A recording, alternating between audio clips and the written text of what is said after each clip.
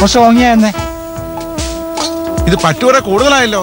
അല്ല കണക്കെഴുതി വെച്ചിരി. അടുത്ത ക്രിസ്മസിന് ആരാന്ന് ഇത് കഴിഞ്ഞ ക്രിസ്മസിനും പറഞ്ഞല്ലേ എന്തായാലും ഈ ക്രിസ്മസിന് ഞാൻ തന്നിരിക്കും. ലേറ്റ് ആയിട്ട് മതി. മതി മതി.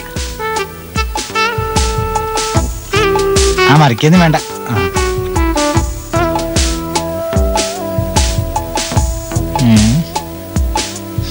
ചായ എങ്ങനെയുണ്ട്? ആ കൊള്ളാം. ഇത് ഞാൻ ഈ ക്രിസ്മസിന് തന്നെ ഈ കേട്ടാ?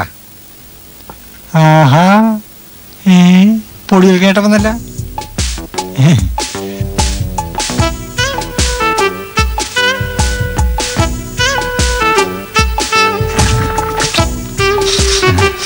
ഇത്തിരി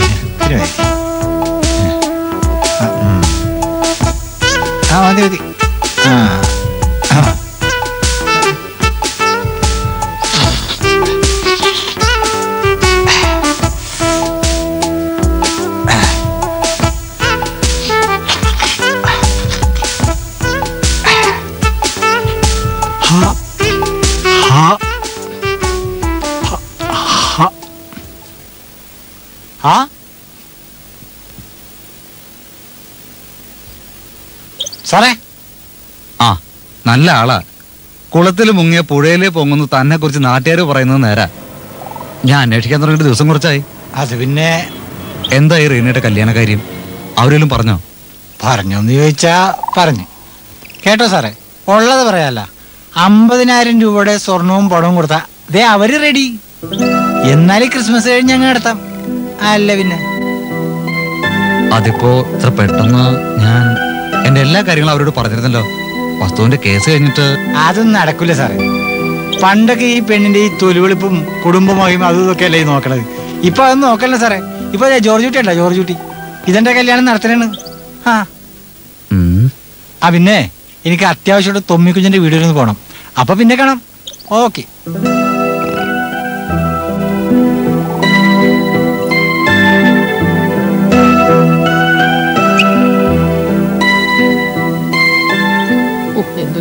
ഈ വഴിക്ക്? ഓ വെറുതെ ഒരാളെ അന്വേഷിച്ചിറങ്ങിയതാ ഏതായാലും കണ്ടു നന്നായി. ക്രിസ്മസിന് ഞങ്ങളുടെ ക്ലബിന്റെ വക പരിപാടിയുണ്ട്. എന്താ നോട്ടീസ് വരാൻ മറക്കരുത്. പാസ്. സാർ തീർച്ചയായിട്ടും വരണം. Oh yes. എങ്ങനെ ജീവിച്ചതാന്നറിയോ? കാറിൽ നിന്ന് ഇറങ്ങില്ലായിരുന്നു. ഇപ്പോഴേ അതേ കണ്ടോ നടരാജ മോട്ടോർ സർവീസ്. എല്ലാം ദൈവത്തിന്റെ കളിയാടോ. അല്ലാതെ എന്താ? അനിയൻ കുടിച്ചു നശിപ്പിച്ചു ചേട്ടൻ ബിസിനസ് നശിച്ചു. കാരണന്മാരുണ്ടാക്കിയതെല്ലാം കളഞ്ഞു കുളിച്ചു ഇപ്പൊ താമസിക്കുന്ന വീടും പറമ്പും മാത്രം. അതും കേസിലാ. ആ കാരണവന്മാരുണ്ടാക്കിയത് തിന്നാനും വേണം ഒരു യോഗം. നമുക്ക് അതുകൊണ്ടോ ആ അത് ശരിയാ. നമ്മുടെ കാരണവന്മാർ നമ്മളെക്കാട്ടി ദരിദ്രവാസികളാ. ഓ നമുക്ക് ഇങ്ങനെ തെണ്ടി കടന്നു തിന്നാനാ യോഗം. ഒരു കാര്യമേ ഒരു ഭിക്ഷാടന യോഗം. ദേ അങ്ങോട്ട് മാറ്റി. അവിടെ. ദേ ചേട്ടാ ആരൊക്കെ വരുന്ന നോക്കിയേ? അല്ല ഇതാരാ? തനിച്ചോളോ? ബെന്നി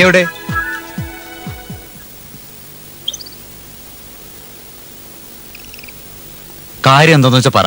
നീ വടക്കിട്ട് പോന്നാണോ അല്ല. പിന്നെ?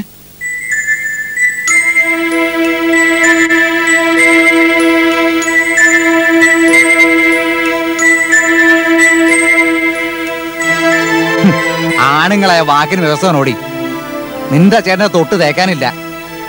കല്യാണം കഴിഞ്ഞിട്ട് കൊല്ലോ അത്രേ. ഇതുവരെ പറഞ്ഞ സ്ത്രീധനത്തൊക്കെ തന്നോ? അവധി കേട്ട് കേട്ട് ഞാൻ മടുത്തു. എനിക്കിത് ക്ഷമിക്കാൻ പറ്റില്ല. ഈ ക്രിസ്മസിന് മുമ്പ് എനിക്ക് എന്റെ കാശ് കിട്ടണം. ചേട്ടന്റെ കയ്യിൽ കാശില്ലാഞ്ഞിട്ടല്ലേ മനഃപൂർവം തരാഞ്ഞിട്ടാണോ? അതൊന്നും എനിക്കറിയേണ്ട കാര്യമില്ല. കാശ് തരാന്ന് പറഞ്ഞുകൊണ്ടാ ഞാൻ നിന്നെ കെട്ടിയെ. അല്ലാതെ നാട്ടിൽ വേറെ പെണ്ണുങ്ങളില്ലാഞ്ഞിട്ടല്ല. ആലോചിച്ചിട്ട് ഞാൻ ഒരു വഴിയെ കാണുന്നുള്ളൂ. പിള്ളേരുമായി നീ വീട്ടിലേക്ക് പൊക്കോ. കാശുമായിട്ട് തിരിച്ചു വന്നാ മതി. ഇല്ലെങ്കിൽ നീ അവിടെ തന്നെ നിന്നോ കണക്കായി പോയി ബെന്നി. ഇപ്പോഴെങ്കിലും ഇത് ചെയ്യാൻ തോന്നിയല്ലോ. പെങ്ങളും പിള്ളേരും വീട്ടിൽ പത്ത് ദിവസം നിൽക്കുമ്പോ ഇല്ലാത്ത കാശുണ്ടാവും. അല്ലെങ്കിൽ ആങ്ങളെ ഉണ്ടാക്കും. വേഗം പറഞ്ഞയക്കാൻ നോക്ക്.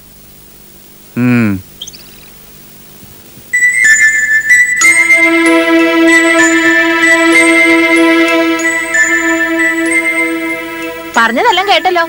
അടുത്ത വണ്ടി കയറി വേഗം സ്ഥലം വിടാൻ നോക്ക്. ഇവിടെ ബെന്നിയുടെ കാര്യങ്ങളൊക്കെ തൽക്കാലം നോക്കാൻ ഞാനും അമ്മയുണ്ട്. ഉം.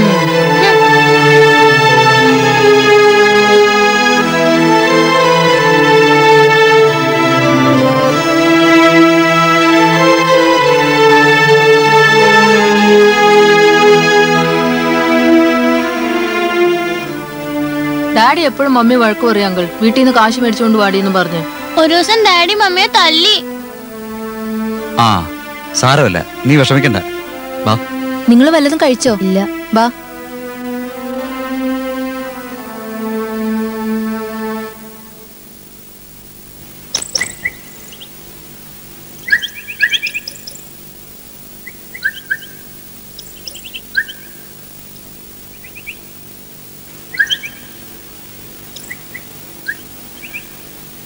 ഇതൊക്കെ നേരത്തെ നോക്കിയിരുന്നെങ്കിൽ ഇങ്ങനെ വഴിയിൽ കിടക്കണമായിരുന്നോ? അല്ലെങ്കിൽ നിനക്കൊന്നും ഒരു ഉത്തരവാദിത്വം ഇല്ല എനിക്ക് പത്ത് മണിക്ക് ടൗണിൽ എത്തേണ്ടതാ. മുതലാളി വിഷമിക്കേണ്ട. ഒരു അഞ്ചു മിനിറ്റിനകം ശരിയാവും.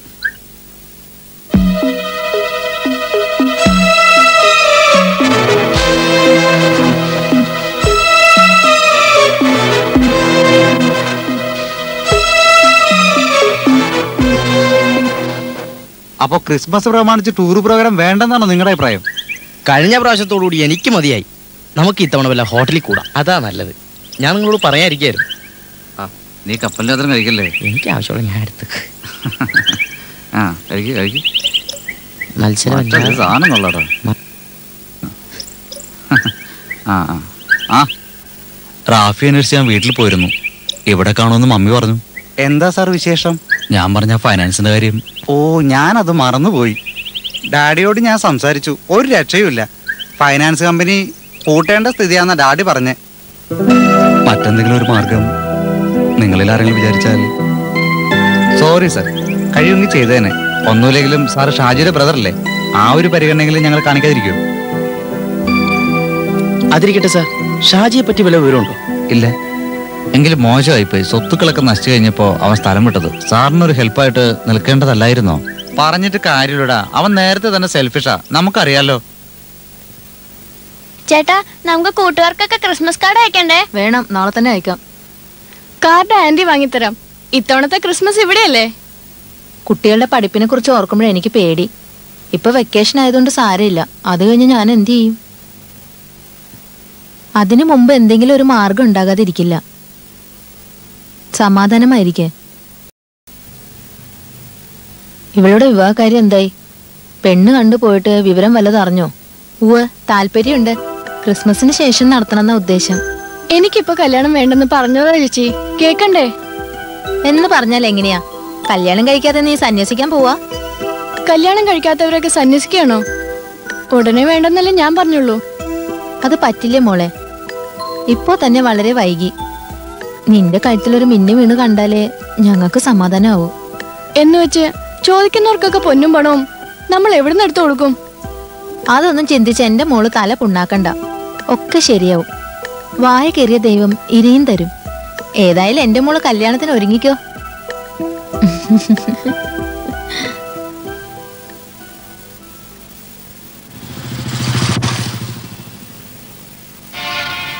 ഓക്കെ കുഴപ്പമൊന്നുമില്ല. പക്ഷെ പറഞ്ഞ സമയത്തിനുള്ളിൽ പണി ഫിനിഷ് ആക്കണം. അതെനിക്ക് നിർബന്ധമാണ് അക്കാര്യം ഓർത്ത് മുതലാളി പേടിക്കണ്ട. വേണ്ടതൊക്കെ ഞാൻ ചെയ്തു. ആ ശരി.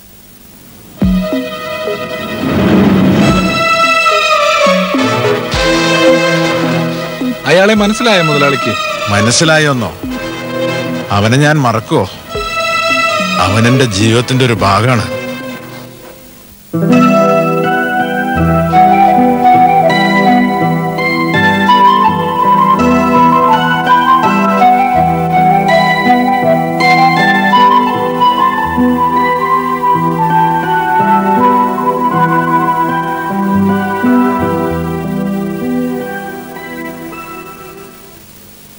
എന്താ വല്ലാത്തൊരു ആലോചന ഏയ് ഒന്നുമില്ല.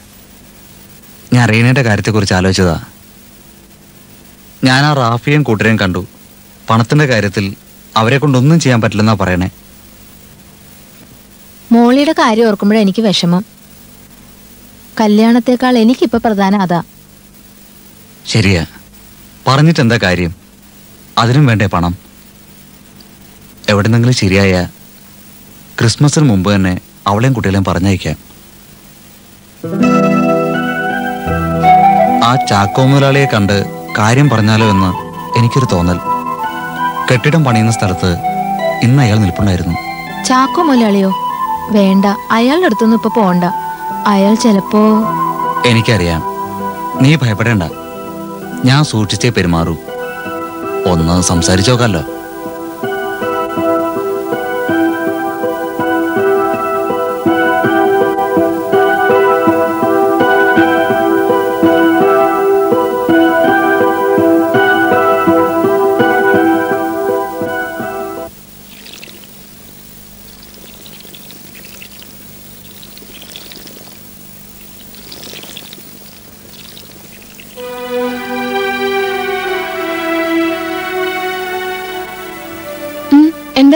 ചാക്കോ മുതലാളിയെ ഒന്ന് കാണാമെന്നാ അപ്പച്ചൻ പള്ളി പോയിരിക്കുക ഇപ്പൊ വരും.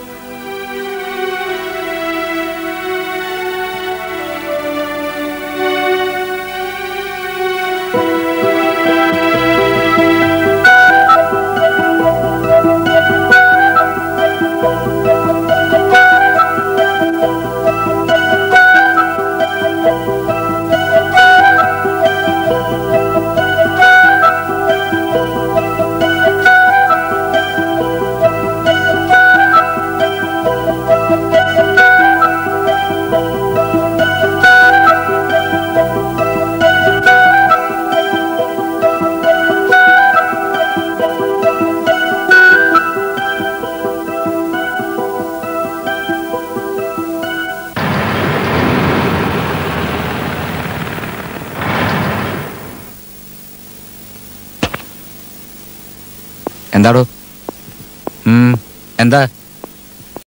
ഞാൻ മുതലാളിയെ കാത്തു നിൽക്കുകയായിരുന്നു. പണിയൊക്കെ ഇപ്പോ തീരെ കുറവാ. ഞാൻ എന്താ പണി ഉണ്ടാക്കി തന്ന? അല്പം പണം കടായിട്ട് കിട്ടിയിരുന്നെങ്കിൽ അതിന് ഞാൻ എന്ത് ചെയ്യാനാടോ? ഇതെന്താ പൊതുഖജനാവാണോ തനിക്ക് വേറെ വല്ലതും പറയാനുണ്ടോ? കടന്ന് പോടോർന്നു എന്താ കേട്ടില്ലേ? തന്നെ പറഞ്ഞു പോവാൻ?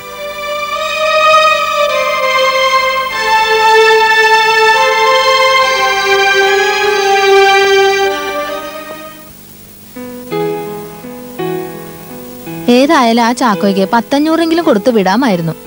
പാവം. ഒന്നോർത്ത വലിയ കഷ്ടപ്പാടാ. നാലഞ്ച് പെൺമക്കളാ. നീ അതോർത്ത് വിഷമിക്കൊന്നും വേണ്ട. അവരെങ്ങനെയും ജീവിച്ചോളും. നാട്ടുകാരുടെ പാറ മുഴുക്ക ചുമക്കാൻ ഞാൻ കർത്താവുന്നല്ലോ അല്ലെങ്കിൽ ചേച്ചിക്ക് ഇത്തിരി സെന്റിമെന്റ്സ് കൂടുതലാ. ശരിയാ. ആ പിന്നെ നിന്നോട്ടൊരു കാര്യം പറയാൻ മറന്നു. ഫ്രണ്ട്സ് മൊത്തമുള്ള ഈ ചുറ്റുകളി ഒന്ന് നിർത്തണം. എനിക്ക് ചില പരാതികൾ കിട്ടിയിട്ടുണ്ട്. പറഞ്ഞു കൊടുക്ക്.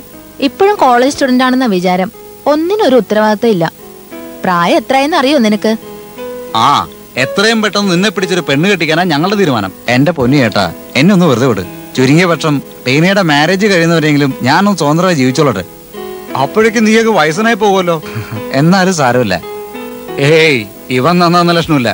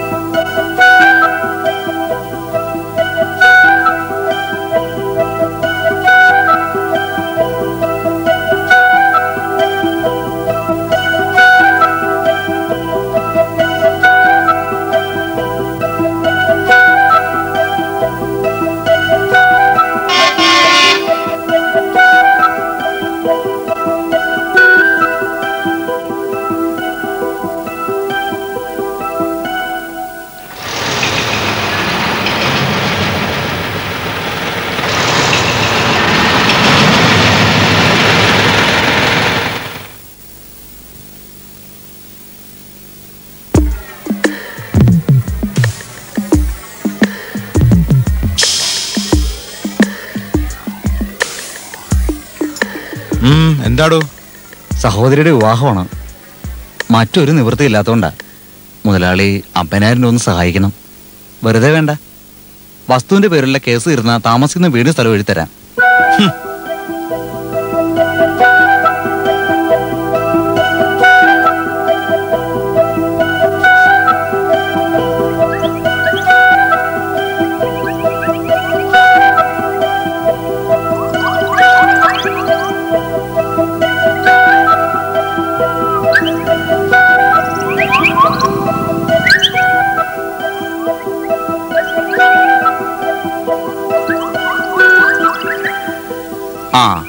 താൻ പിന്നെയും വന്നോ? എന്താ കാര്യം? കുറച്ചു ദിവസമായിട്ട് പണി തീരെ ഇല്ല മുതലാളി. ഇതൊരു വല്ലാത്ത ശല്യമായല്ലോ. ഞാൻ നേരത്തെ തന്നോട് പറഞ്ഞില്ലേ പണത്തിന്റെ കാര്യം പറഞ്ഞു നിങ്ങൾ വരരുതെന്ന്. താൻ വേറെ വഴി നോക്ക്. ഛേ ക്രിസ്മസ് ആയിട്ട് രാവിലെ വന്ന്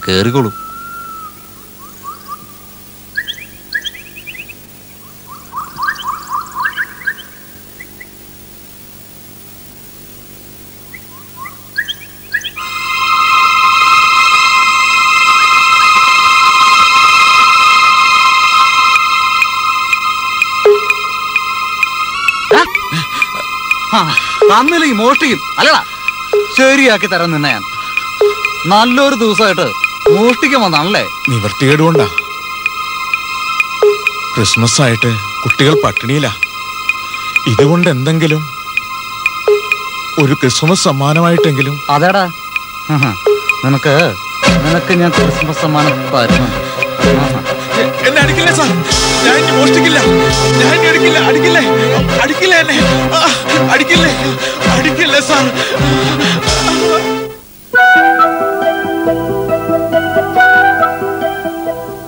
മുതലാളി ഒന്നും പറഞ്ഞില്ല. വീടും പറമ്പും എനിക്ക് തന്നിട്ട് പെരുവഴിയിലേക്ക് ഇറങ്ങാനാണോ പാവം? അതേതായാലും വേണ്ട. ദൈവം പൊറുക്കില്ല.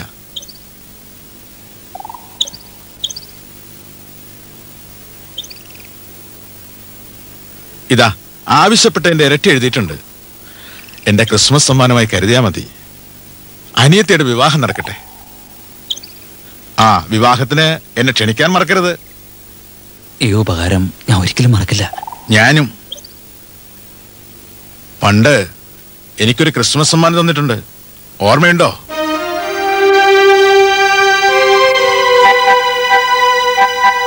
ദാ